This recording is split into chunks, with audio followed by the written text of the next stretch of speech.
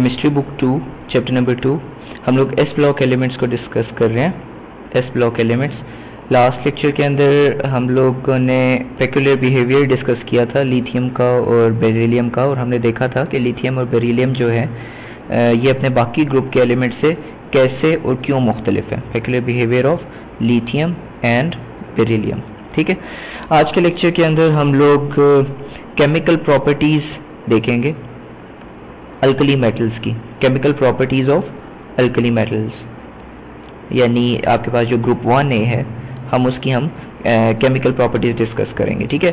और हम लोग एक दफ़ा मैं फिर रिपीट कर दूँ कि हाइड्रोजन की डिस्कस नहीं कर रहे इसके अंदर ऑल वो ग्रुप वन ए से बिलोंग करता है, लेकिन अल्कली मेटल्स से बिलोंग नहीं करता, ठीक है? सबसे पहला जो पॉइंट है कि इनकी नॉर्मल जो प्रॉपर्टीज़ होती हैं अल्कली मेटल्स की, वो तो ये है कि इसकी जो लो आइनाइजेशन एनर्जी है। ठीक है? आपको पता है कि आप जब पीरियोडिक टेबल के अंदर लेफ़्ट से राइट पे आते हो तो क्या होता है कि आपका न्यूक्लियर चार्ज बढ़ता है। न्यूक्लियर चार्ज बढ़ता है एक्स्ट्रा प्रोटॉन की वजह से, जिसकी वजह से एटॉमिक साइज़ कम होता है और आपकी आइनाइजेशन एनर्जी जो है वो ज़्यादा हो जाती है। ठीक है? ज़्यादा फोर्स लगानी पड़ती है इलेक्ट्रॉन को रिमूव करने के लिए। इसका मतलब है कि अल्कली मेटल्स यानी ग्रुप वन ए के अंदर सबसे कम फोर्स लगानी पड़ती है, अगर आप बाकी ग्रुप्स के साथ कंपेयर करो तो ठीक है? ग्रुप वन ए जो है, इसमें सबसे कम आयनाइजेशन एनर्जी होती है। कम आयनाइजेशन आयनाइजेशन एनर्जी का मतलब है इजीली इलेक्ट्रॉन रिमूव हो सकता है। फॉर एग्जांपल अगर आप सोडियम की बात करते हो तो सोडियम क्या करेगा कि बहुत इजीली ये इलेक्ट्रॉन रिमूव कर देगा और इसकी आयनाइजेशन एनर्जी बहुत कम होगी। ठीक है निस्बतन आप अगर एल्यूमिनियम की बात करते हो तो एल्यूमिनियम के अंदर आयनाइजेशन एनर्जी अगर एक ही इलेक्ट्रॉन आप निकाल रहे हो तो वो हायर होगी। ठीक है आयनाइजेशन एनर्जी इसकी ज़्यादा होगी सोडियम की। तो पहली बात तो ये कि इसकी आयनाइजेशन एनर्जी कम होने की वजह से ये बहुत इजीली इलेक्ट्रॉन डोनेट कर सकता है, जिस बात का मतलब ये हुआ कि ये बहुत इलेक्ट्रो पॉजिटिव होता है। ठीक है, हम पूरे ग्रुप की बात कर रहे हैं, अब सिर्फ़ लिथियम की बात नहीं हो रही। ये जो पूरा ग्रुप है, ये हाईली इलेक्ट्रो पॉजिटिव है, ठीक है? और बहुत इजीली ये इलेक्ट्रॉन डोनेट कर रहा है, और इसका मतलब ये जो इलेक्ट्रॉन डोनेट कर रहा है किसी दूसरे के अंदर ऐड हो जाएगा, और इलेक्ट्रॉन की एडिशन रिडक्शन कहलाती है। इसका मतलब है ये बहुत ही स्ट्रॉन्ग रिड्यूसिंग एजेंट्स होते हैं। ठीक है? इस पूरी बात को आप आपस में लिंक करो। इनकी आयनाइजेशन एनर्जी कम होती है। ये बहुत आराम से इलेक्ट्रॉन डोनेट करते हैं। ये बहुत इजीली खुद ऑक्सीडाइज हो जाते हैं और ये बहुत इजीली किसी दूसरे को रिड्यूस कर देते हैं इस एक्स्ट्रा इलेक्ट्रॉन को डोनेट करने की वजह से, ठीक है?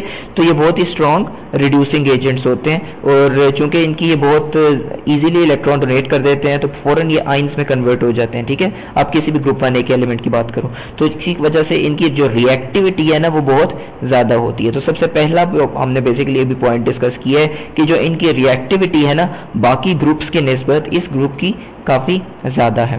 सेकेंड हम लोग जो प्रॉपर्टी डिस्कस करेंगे वो ये कि इनकी जो आ, ये सेकेंड प्रॉपर्टी को बेहतर है, मैं आपको इस फिगर से एक्सप्लेन कर दूँ। आप देखो इसमें ग्रुप बने का एक ही एलिमेंट आपको नज़र आ रहा है सोडियम बाकी ये two A three A four A ये तो बाकियों के ठीक है? सोडियम की आप देखो first ionisation energy 496 kilo joules per mole है, जबकि सेकंड आइनाइजेशन एनर्जी 4560 है। सोडियम के अंदर आपका एटॉमिक नंबर होता है 11 यानी फ़र्स्ट शेल के अंदर होते हैं आपके दो इलेक्ट्रॉन्स सेकेंड में आपके पास होते हैं two four six and eight electrons and then third shell में आपके पास होते हैं सिर्फ़ एक इलेक्ट्रॉन ठीक है? अब अगर आप किसी तरीके से ऐसा करो कि एक इलेक्ट्रॉन रिमूव कर दो तो 496 किलो जल्द एनर्जी प्रोवाइड करो। तो ये वाला जो इलेक्ट्रॉन है ना ये जो आ, ये जो इलेक्ट्रॉन था ये यहाँ से रिमूव हो जाएगा। ये पूरा ऑर्बिट आपका यहाँ से निकल जाएगा ठीक है? और इस पूरे ऑर्बिट के निकलने की वजह से अब होगा ये कि आपके पास पीछे अब अगर मजीद आपने कोई एक और इलेक्ट्रॉन निकालना है तो आपको बहुत ही ज़्यादा फोर्स लगानी पड़ेगी, ठीक है, इस इलेक्ट्रॉन को नॉक तो सेकेंड आयनाइजेशन एनर्जी इनकी बहुत ही ज़्यादा होती है। देखो टेन टाइम्स ऑलमोस्ट ज़्यादा है। तो इस बात का मतलब ये हुआ कि ये जो अपने कंपाउंड्स के अंदर ऑक्सीडेशन स्टेट शो करते हैं, आप किसी भी अल्कली मेटल की बात करो तो वो सिर्फ़ प्लस वन शो करते हैं, ठीक है? एंड जो बाकी हायर सेकेंड आयनाइजेशन एनर्जी की वजह से इनकी जो बाकी ऑक्सीडेशन स्टेट्स हैं, वो नहीं होती। तो only oxidation state is plus one ठीक है? थर्ड इसकी प्रॉपर्टी ये है। थर्ड प्रॉपर्टी भी थोड़ी सी सिस्टमेटिक है। आपने इसको और से समझना है। थर्ड प्रॉपर्टी इसकी ये है कि आप ग्रुप वन ए की बात करो। साथ में आप अपने जहन में बाकी ग्रुप्स भी रखो। Group two A three A four A group one A में आपका साइज़ बड़ा होता है या कम होता है? साइज़ आपका ज़्यादा होता है। यानी लार्ज साइज़ के एटम्स होते हैं। ठीक है? साइज़ ऑफ़ एटम्स और दूसरा, आपका चार्ज ज़्यादा होता है या कम होता है? वन ए का। कम होता है। लो चार्ज आप लेफ़्ट से राइट साइड पे आते हो तो एक्स्ट्रा इलेक्ट्रॉन डोनेट करने की टेंडेंसी बन जाती है। For example calcium plus two भी शो करता है। ऑक्सीडेशन स्टेट्स यानी आपकी ज़्यादा होती जाती है तो हाई चार्ज हो जाता है। अब अगर आप चार्ज टू साइज़ रेशियो निकालो तो चूँकि आपका चार्ज कम है इनका और साइज़ इनका ज़्यादा है तो बेसिकली जो आपका इस साइड पे चार्ज टू साइज़ रेशियो जिसे हम चार्ज डेंसिटी कहते हैं, ये बहुत ही कम होगी। वेरी वेरी लो ठीक है? वैसे तो आप जब लिथियम को डिस्कस कर रहे थे तो हमने कहा था कि लिथियम की जो चार्ज डेंसिटी है, वो ज़्यादा होती है। बट अगर आप बाकी ग्रुप्स के साथ कंपेयर करो ना group three A four A के, यानी बाकी आप इस साल कॉलम्स के साथ कंपेयर करो तो सबसे कम होती है इसकी। तो लो चार्ज डेंसिटी की वजह से होता ये है कि जो आपकी बॉन्ड्स की स्ट्रेंथ है ना मेटेलिक बॉन्ड्स की स्ट्रेंथ जो होती है, वो आपकी वीक होती है। मेटेलिक बॉन्ड स्ट्रेंथ आपकी वीक होती है, ठीक है? और मेटेलिक बॉन्ड स्ट्रेंथ आपकी वीक होने की वजह से जो इसके सॉल्ट्स बनते हैं ना, उसकी लो लेटेस्ट एनर्जी होती है, ठीक है? आप पिछले एक दो लेक्चर्स को अगर आप सुनो, जिसके अंदर लिथियम बेरिलियम डिस्कस कर रहे थे तो उसके अंदर भी हमने डेजोल्यूशन और लेटेस्ट एनर्जीज को डिस्कस किया था। तो वहाँ से भी आपको समझ आ जाएगा लो लेटेस्ट एनर्जी का मतलब फिर ये हुआ कि ये बहुत इजीली सोल्यूबल होंगे वाटर के अंदर ईजिली सोल्यूबल इन वाटर ठीक है? तो लो चार्ज डेंसिटी की वजह से आपके पास लो लेटेस्ट एनर्जी है और लो लेटेस्ट एनर्जी की वजह से आपकी हीट ऑफ़ हाइड्रेशन तो ज़्यादा होगी ना इनकी। तो इसकी नस्बत, ठीक है? तो होगा ये कि आपकी ये इजीली सोल्यूबल होते हैं, ठीक है? एक्सेप्ट फॉर लिथियम फ्लोराइड वगैरह जिसमें हाई चार्ज डेंसिटी होती है, ठीक है? उसमें नहीं होता, लेकिन जो बाकी है ना, उनकी लो चार्ज डेंसिटी होती है लिथियम के अलावा जो आपके पास है। तो वो आपके पास इजीली वाटर के अंदर सोल्यूबल होते हैं, ठीक है? इसके जितने भी सॉल्ट्स हैं फॉर एग्जांपल आप सोडियम क्लोराइड आपको पता है वाटर में सॉल्युबल है, आप रुबीडियम क्लोराइड ले लो रुबीडियम आयोडाइड ले लो, आप पोटेशियम आयोडाइड ले लो, ये सारे वाटर के अंदर सॉल्युबल होते हैं, ठीक है? इसके बाद आपके पास फोर्थ प्रॉपर्टी आ गई है, जो इस पूरे ग्रुप की हम लोग डिस्कस करने लगे हैं, वो इसकी सरफेस टार्निशिंग के बारे में सरफेस टार्निशिंग बाय ऑक्साइड्स ठीक है? अब होता ये है बेसिकली कि आपको जब लिथियम भी मैंने डिस्कस किया था, मैंने आपको बताया था कि जो लिथियम है ना, वो ऑक्सीजन के साथ रिएक्ट करके नॉर्मल ऑक्साइड प्रोड्यूस करता है। Normal oxide L I two O होगा नॉर्मल ऑक्साइड जो सिंपल ऑक्साइड है नेगेटिव टू ऑक्सीडेशन स्टेट के साथ। आपके पास फिर पर ऑक्साइड होता है नेगेटिव वन ऑक्सीडेशन स्टेट के साथ और फिर सुपर ऑक्साइड होता है negative one by two oxidation state के साथ। ठीक है, ये सिंपल ऑक्साइड है। ये पर है और ये सुपर ऑक्साइड है आपके पास, ठीक है? तो लिथियम का ऑक्साइड जो एल है ना ओ है, ये फॉरन आपका बन जाता है और लिथियम ऑक्साइड जब ये आपका एटमॉस्फेयर के अंदर जब ये बनता है ना तो एटमॉस्फेरिक ऑक्सीजन के साथ रिएक्ट करने के बाद लिथियम ऑक्साइड बना और लिथियम ऑक्साइड पे फर्दर कार्बन डाइऑक्साइड के साथ रिएक्ट करके आपका लिथियम कार्बोनेट बना देता है, जो कि एल है आपके पास, ठीक है? और ये फर्दर आपका ये अदर वे राउंड भी रिएक्शन आपका होता है डिकम्पोज भी हो सकता है उस सेंस में। अगर आप लिथियम के अलावा कोई लो तो वो बेसिकली मैंने आपको लास्ट टाइम भी बताया था कि वो बेसिकली डिपेंड करता है कि आपकी लिमिटेड सप्लाई है ये एक्सेस सप्लाई है। अगर तो आप लिमिटेड सप्लाई ऑफ़ ऑक्सीजन दो ना तो फिर तो आपके पास नॉर्मल ऑक्साइड बनता है, यानी एन जिसमें ऑक्सीजन का चार्ज नेगेटिव टू होता है, ठीक है? बट अदरवाइज़ अगर आप इसमें एक्सेस अमाउंट ऑफ़ ऑक्सीजन डाल दो तो फिर आपके पास एन टू ओ टू बन जाता है, जो कि एक पर ऑक्साइड ठीक है? इसके अलावा आपका जो पोटेशियम है, पोटेशियम का अगर आप ऑक्साइड बनाने की कोशिश करो तो पोटेशियम आपके पास सुपर ऑक्साइड शो करता है, ठीक है? Super oxide potassium super oxide का फॉर्मूला के ओ टू होता है बिकॉज़ पोटेशियम यहाँ पे plus one oxygen negative one by two तो ये हो जाएगा के वन बाई टू ओ और अगर इन दोनों के चार्जेस को टू से मल्टीप्लाई कर दो तो ये हो जाएगा के ओ टू ठीक है? तो ये आपके पास बन गया पोटेशियम सुपर ऑक्साइड और पोटेशियम सिंपल ऑक्साइड का फॉर्मूला होगा के टू ओ ठीक है? तो ये के ओ टू और के टू ओ में डिफरेंस है ऑक्सीडेशन स्टेट्स का ऑक्सीजन की। तो बेसिकली इन तीनों ऑक्साइड्स में डिफरेंस ये होता है कि जो आपका पर ऑक्साइड होता है ना, ये जो सिंपल ऑक्साइड है, ये तो वाइट कलर में होता है, ठीक है? तो आपको जो फॉर एग्जांपल ये ऊपर लिथियम बन रहा था, ये भी वाइट कलर का सॉलिड फॉर्म में बनता है लिथियम ऑक्साइड जो होता है, ठीक है? जो आपके पास यहाँ पे पर ऑक्साइड बना है, ये पर ऑक्साइड जो होता है, इसका कलर आपके पास पेल येलो होता है। पेल येलो मतलब बहुत ही लाइट येलो लाइट येलो जिस कलर से मैं यहाँ पे लिख रहा हूँ, ठीक है? उस हिसाब से मुझे यहाँ पे वाइट कलर से लिखना चाहिए था। वाइट एंड वाइट अब ठीक? और इसी तरीके से जो आपके पास सुपर ऑक्साइड्स होते हैं ना सुपर ऑक्साइड्स आपके पास अमूमन होते हैं ऑरेंज कलर के, ठीक है? तो ये आपके पास ऑरेंज कलर के होते हैं, ठीक है? तो आपके पास ऑरेंज कलर के सुपर ऑक्साइड्स हो गए। तो ये आपके पास नॉर्मल थर्ड प्रॉपर्टी हो गई, जिसके अंदर आपने देखा कि ऑक्साइड्स बनाते हैं। अभी ऑक्साइड्स क्या करते हैं कि फॉर एग्जांपल आपके पास यूँ पड़ा हुआ है, कोई एक मेटल का पीस है सोडियम का या पोटेशियम का। उसके साथ ना सर्फ जो एटमॉस्फेयर की ऑक्सीजन है वो रिएक्ट करती है और ऑक्साइड बना देती है और उस ऑक्साइड की वजह से इसकी जो सरफेस है ना इसके ऊपर एक कोटिंग आ जाती है, ये सरफेस टार्निश हो जाती है। मतलब आपकी सरफेस जो है, वो ऑक्सीडेशन होने लगी है क्रोजन भी इसको आप कह सकते हो। सरफेस के ऊपर क्रोजन होने लग गई है, ठीक है? क्रोजन या इसकी टार्निशिंग की आप डिटेल्स देख सकते हो चैप्टर नंबर सिक्स के अंदर, जिसके अंदर क्रोजन पूरा एक टॉपिक आप डिस्कस करेंगे। इसके बाद आपके पास जो नेक्स्ट प्रॉपर्टी है, वो आपकी है reactivity with water reaction with water ठीक है? और ये हम बेसिकली फिफ्थ प्रॉपर्टी डिस्कस कर रहे हैं अल्कली मेटल्स की। अब जो अल्कली मेटल्स हैं, ये वाटर के साथ फ़ौरन रिएक्ट कर जाते हैं। आपको लास्ट टाइम भी मैंने बताया था कि ये वाटर के साथ रिएक्ट करते हैं। और ये सोडियम जो है, ये क्या करता है? सोडियम पहले चेंज होता है सोडियम आइन के अंदर और साथ में इलेक्ट्रॉन डोनेट करता है। वो जो इलेक्ट्रॉन है वाटर के वाटर का अटैक करता है और उसको हाइड्रोक्सिल्स में कन्वर्ट कर देता है। और साथ में हाइड्रोजन गैस प्रोड्यूस करता है। और वो जो हाइड्रोक्सिल्स हैं, वो फिर सोडियम के साथ रिएक्ट करते हैं और बेसिकली सोडियम हाइड्रोक्साइड बना देते हैं। और साथ में आपके पास ये हाइड्रोजन जो है, ये रिलीज़ हो जाती है। ठीक है? तो ये जो रिएक्शन होता है ना, ये आपका एक्जोथर्मिक रिएक्शन होता है। यानी इसके अंदर आपके पास एनर्जी जो है a lot of energy is release exothermic reaction तो एक्सोथर्मिक रिएक्शन होने की वजह से होता है ये है कि वो जो एनर्जी रिलीज़ हो रही है ना, वो जो इसी का ये जो हाइड्रोजन है, इसको फर्दर इसको बर्न कर देती है, क्योंकि हाइड्रोजन जो है ये कंबस्टेबल होता है। तो बर्निंग की वजह से फर्दर ये आपका ऑटोमेटिकली एक तो रिएक्शन भी होता रहता है, दूसरा ये होता है कि आपका बहुत ही विग्रस या स्ट्रॉन्ग रिएक्शन होता है, ठीक है? और आपके सरफेस के ऊपर इस हाइड्रोजन की बर्निंग की वजह से आग लग जाती है, ठीक है? तो ये बहुत ही खतरनाक रिएक्शन है, अगर आप ये वैसे करो तो ठीक है? आप जब टॉप टू बॉटम आते हो ना ग्रुप में तो मैंने लास्ट टाइम भी आपको बताया था लास्ट लेक्चर के अंदर तो आपका जो स्ट्रेंथ है ना इसकी कम होती जाती है ठीक है? यानी सोडियम हाइड्रोक्साइड की लेटेस्ट एनर्जी आपके पास कम होती जाती है। सॉरी uh, अगर आप लिथियम हाइड्रोक्साइड की बात करो और उसके साथ आप कंपेयर करो सोडियम हाइड्रोक्साइड को उसके साथ आप कंपेयर करो रुबीडियम हाइड्रोक्साइड को। आप मुझे ये बताओ कि लेटेस्ट एनर्जी किसकी सबसे ज़्यादा कम होगी? अब लेटेस्ट एनर्जी आपकी किस चीज़ पे डिपेंड करती है? चार्ज टू साइज़ रेशियो पे ठीक है? लेटेस्ट एनर्जी कम होगी अगर आपका चार्ज टू साइज़ रेशियो कम होगा। अब देखो आपकी जो लिथियम है ना इसकी चार्ज टू साइज़ रेशियो जो होता है, ये ज़्यादा होता है बिकॉज़ इसका साइज़ कम है। आपका रुबीडियम का चार्ज टू साइज़ रेशियो जो होता है, ये कम होता है। तो जब इसकी चार्ज टू साइज़ रेशियो कम है तो इसकी लेटेस्ट एनर्जी भी कम होगी।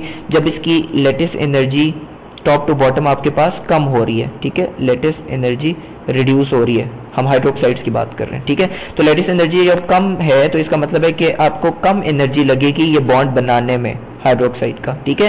और कम एनर्जी लगेगी और बाकी एनर्जी रिलीज़ हो जाएगी। तो उतनी ही ज़्यादा एनर्जी रिलीज़ होगी जितना आप नीचे का कोई एलिमेंट उठा के उसका रिएक्शन कराओ वाटर के साथ, ठीक है? तो वो ज़्यादा विग्रस रिएक्शन होगा। आप अगर लिथियम की बात करो तो मैंने लास्ट में आपको बताया था कि लिथियम का जो रिएक्शन होता है ना लिथियम का वाटर के साथ जो रिएक्शन होता है, वो कंपेरेटिवली थोड़ा स्लो होता है, ठीक है? बिकॉज़ उसमें लिथियम की चार्ज डेंसिटी ज़्यादा है और आपके पास high comparatively and lattice energy है, ठीक है?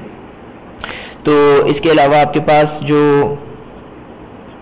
रिएक्शन होता है वाटर के साथ, अगर आप पोटेशियम लो या प्रोबीडियम लो या सीजियम लो, ये सबसे नीचे के तीन एलिमेंट्स हैं, ये इतना स्ट्रॉन्ग रिएक्शन करते हैं कि अगर आप माइनस हंड्रेड डिग्री सेल्सियस पे वाटर को ले जाओ, यानी आप आइस के साथ रिएक्शन कराओ तो भी ये रिएक्शन ऑटोमेटिकली हो जाता है, ठीक है? तो ये बहुत ही स्ट्रॉन्ग और विगरस रिएक्शन हो गया, ठीक है? ये आपका फिफ्थ रिएक्शन था फिफ्थ प्रॉपर्टी थी जो अल्कली मेटल्स की ऑलमोस्ट कॉमन थी आपस में। सिक्स प्रॉपर्टी आपके पास जो है इनकी हाइड्राइड फॉर्मेशन है। हाइड्राइड फॉर्मेशन हाइड्राइड फॉर्मेशन से पहले मैं आपको रेफर करूँगा कि आप चैप्टर नंबर वन के लास्ट uh, लेक्चर्स के अंदर हम लोगों ने हाइड्राइड्स का एक लेक्चर uh, डिस्कस किया था पूरा। uh, उसमें मैं आपको रेफर करूँगा आप पहले वो सुन लो। हाइड्राइड्स जो होते हैं ना हाइड्राइड्स की जो बॉन्ड स्ट्रेंथ होती है हाइड्राइड्स की वो किस चीज़ पे डिपेंड करती है? वो इलेक्ट्रोनेगेटिविटी डिफरेंस के ऊपर डिपेंड करती है। और हाइड्रोजन की जो इलेक्ट्रोनेगेटिविटी है, वो कितनी होती है? वो होती है, एक मिनट, में आपको देख के बताता हूँ, ये 2.1 होती है। तो 2.1 इसकी इलेक्ट्रोनेगेटिविटी हो गई, और जो आपके अल्कली मेटल्स हैं अल्कली मेटल्स ये सब के सब जो हैं, इनकी आपके पास इलेक्ट्रोनेगेटिविटीज कम होती हैं या ज़्यादा होती हैं? इनकी आपके पास लो आयनाइजेशन सॉरी इलेक्ट्रोनेगेटिविटीज होती हैं इलेक्ट्रोनेगेटिविटीज ठीक है? तो इलेक्ट्रोनेगेटिविटीज अल्कली मेटल्स की कम होती हैं हाइड्रोजन की तो फिक्स्ड है 2.1 है, इसका मतलब है जब इनका आपस में डिफरेंस होता है, वो थोड़ा ज़्यादा होता है और उस ज़्यादा डिफरेंस की वजह से जो इसके हाइड्राइड्स बनते हैं, उनकी आयनिक बॉन्ड नेचर होती है। आयनिक बॉन्ड नेचर ठीक है? अगर आप ग्रुप वन ए की बात नहीं करते, अगर आप ग्रुप टू ए की लिट से बात करते हो ग्रुप टू ए की तो टू ए में ये होता है कि आपके जो टॉप के हैं ना, आपके पास बेरिलियम और बेरिलियम से नीचे आपके पास क्या होता है? आपके पास बेरिलियम से नीचे होता है कैल्शियम सॉरी सोडियम के बाद क्या होता है? मैग्नीशियम सॉरी और मैग्नीशियम से नीचे बराबर कैल्शियम ये जो ग्रुप टू ए है ना, इसमें जो टॉप के दो है ना, ये आपके कोवलेंट बॉन्ड्स बना देते हैं। इसकी वजह ये होती है, और बाकी नीचे वाले सारे आयनिक ही बनाते हैं। तो वो आप वहाँ पे जाके आप क्लासिफिकेशन देख लो आयनिक और कोवलेंट बॉन्ड्स की, कि हाइड्राइड फॉर्मेशन में आपके जो ग्रुप वन है ना, वो सारे के सारे आयनिक बॉन्ड्स बनाते हैं। ठीक है? इनका जो जनरल रिएक्शन होता है, वो भी मैं आपको बता देता हूँ ग्रुप वन का। ग्रुप वन के जितने भी एलिमेंट्स होते हैं फॉर एग्जांपल आप सोडियम की बात करते हो, उसको अगर आप लेट से हाइड्रोजन में डिजोल्व करोगे तो ये बेसिकली क्या बनाएगा? एन ए एच ठीक है? सोडियम प्लस वन और हाइड्राइड माइनस वन ठीक है? तो ये सोडियम हाइड्राइड बन गया। इसी तरह आपके पास पोटेशियम हाइड्राइड बनेगा, आपके पास सीजियम हाइड्राइड बनेगा ऐसे हाइड्राइड्स बनते हैं आपके पास, ठीक है? ये जो हाइड्राइड्स है ना, ये स्ट्रॉन्ग रिड्यूसिंग एजेंट्स होते हैं। रिड्यूसिंग एजेंट्स क्यों? बिकॉज़ आपके पास जो हाइड्रेट्स होते हैं, उसके पास ये हाइड्रोजन होता है विद नेगेटिव वन चार्ज और इस हाइड्रोजन की कोशिश होगी कि ये हाइड्रोजन जो है, ये क्या करे कि एक इलेक्ट्रॉन डोनेट कर दे। बिकॉज़ हाइड्रोजन नेगेटिव वन का मतलब है इसने एक एक्स्ट्रा इलेक्ट्रॉन लिया हुआ है। ये इलेक्ट्रॉन डोनेट कर दे और वापस हाइड्रोजन की फॉर्म में कन्वर्ट हो जाए विद एन इलेक्ट्रॉन ठीक है? तो ये इस तरह बन जाता है। और ये जो इलेक्ट्रॉन होता है, ये डोनेट कर देता है। और किसी दूसरे को ये रिड्यूस कर देते हैं। फॉर एग्ज़ाम्पल ये वाला इलेक्ट्रॉन वाटर के साथ रिएक्ट करेगा और ये आपका क्या बना देगा? हाइड्रोक्साइड प्रोड्यूस कर देगा और साथ में हाइड्रोजन गैस रिलीज़ कर देगा। ठीक है? तो इन सारी बातों इकट्ठे अगर मैं लिखूं, अगर यहाँ पे हाइड्राइड ना होता, अगर सोडियम हाइड्राइड होता तो ये होता कि फिर हाइड्राइड आइन जो है वो हाइड्रोजन और इसमें चेंज होता। और ये जो हाइड्रोजन है, ये दोनों मिलकर हाइड्रोजन गैस बना देते। ठीक है? और सोडियम जो है, वो है, वो इस हाइड्रोक्साइड के मिलके सोडियम हाइड्रोक्साइड बना देता। ठीक है? एन ठीक है? तो इस तरह आपके रिएक्शन होते हैं। यानी आपके पास सबसे पहले फॉर एग्ज़ाम्पल लीजिए हाइड्राइड का आप रिएक्शन कराते हो वाटर के साथ तो पहले लिथियम चेंज जो हाइड्राइड है ना, ये पहले चेंज होगा हाइड्रोजन में और एक इलेक्ट्रॉन डोनेट करेगा। वो जो एक इलेक्ट्रॉन है, वो अटैक करेगा वाटर को और वाटर को वो रिड्यूस कर देगा और ये जो हाइड्रोजन है, ये इटसेल्फ ऑक्सीडाइज होकर ये इस ज़ीरो ऑक्सीडेशन स्टेट में चला जाएगा। ठीक है? तो ये आपके पास लिथियम हाइड्रोक्साइड और साथ में हाइड्रोजन गैस लिबरेट हो जाएगी। ठीक है? तो ये इसका नेक्स्ट प्रॉपर्टी होगी थी हाइड्राइड फॉर्मेशन के अंदर हम लोगों ने देखा। और इसके बाद जो सेवन्थ प्रॉपर्टी है बस अभी आई थिंक लास्ट प्रॉपर्टी के ऊपर हम लोग आ गए हुए हैं। जो आपके पास सेवेंथ प्रॉपर्टी है, वो इसकी ये है कि नाइट्राइड और, जो कार्बाइड फॉर्मेशन है। फॉर्मेशन लास्ट लेक्चर के अंदर जब हम पेट्रोलियर बिहेवियर देख रहे थे तो मैंने आपको बताया था कि जो नाइट्रोजन है ना, ये क्या करता है लिथियम जो है वो नाइट्रोजन के साथ रिएक्ट करके लिथियम नाइट्राइड बनाता है यानी L I three N nitrogen तीन बॉन्ड्स बनाता है लिथियम एक इस वजह से और आपके पास जो लिथियम कार्बन के साथ रिएक्ट करके लिथियम कार्बाइड बनाता है ठीक है? एल आई सॉरी फोर यहाँ पे आएगा जो है ये फोर बॉन्ड्स बनाता है। तो यहाँ पे आपके पास लिथियम फोर कार्बाइड ठीक है? आ, ये जो रिएक्शंस मैंने दो लिखे हैं ये बाकियों के नहीं होते। फॉर एग्जांपल अगर आप सोडियम का रिएक्शन करो कार्बन के साथ तो ये सोडियम कार्बाइड आपके पास यूँ नहीं बनता ठीक है? एक तो ये हो गया। दूसरा आपके पास एक तो नाइट्राइड और कार्बाइड फॉर्मेशन होगी, अब फिर नेक्स्ट है हेलाइट फॉर्मेशन, ठीक है? Halide formation. जो आपके अल्कली मेटल्स हैं ना, नॉर्मली, ये आपके हेलाइट्स बहुत इजीली बना देते हैं। फॉर एग्जांपल आप सोडियम के अंदर क्लोरीन गैस को पास करो तो ये आपके पास सोडियम क्लोराइड बन जाएगा, ठीक है? सोडियम तो आपका सॉलिड होता है क्लोरीन आपके पास नॉर्मली गैस होती है। आप ये करते हो कि पहले इसको मेल्ट करते हो ठीक है? और मेल्ट करते हो और जब ये लिक्विड फॉर्म में होता है इसके ऊपर से आप उसको पास कराते हो क्लोरीन गैस को। तो आपके पास सोडियम क्लोराइड बनता है ठीक है? जब आप टॉप टू बॉटम आते हो ना टॉप टू बॉटम किसी एक ग्रुप के अंदर तो आपके पास ये होता है कि आपकी लेटेस्ट एनर्जीज जो होती हैं वो डिक्रीज कर रही होती है। और लेटेस्ट एनर्जी के कम होने की वजह से आपके पास जो आ, क्या होता है कि ये रिएक्शन इजी हो जाता है। यानी आपका या गया फॉर एग्ज़ाम्पल आप सीजियम क्लोराइड बना रहे हो तो वो बहुत ईजिली बन जाएगा निस्बतन सोडियम क्लोराइड के, ठीक है?